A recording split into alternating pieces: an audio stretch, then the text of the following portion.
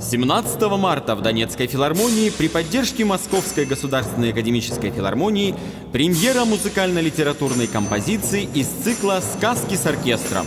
Всех мальчишек и девчонок ожидает встреча с героиней бестселлера американской писательницы Эленор Портер «Полианна». История жизнерадостной и открытой миру девочки, умеющей играть в радость, прозвучит в исполнении Виктории Степановой в сопровождении Академического симфонического оркестра имени Сергея Прокофьева. Подробности в кассе и на сайте филармонии.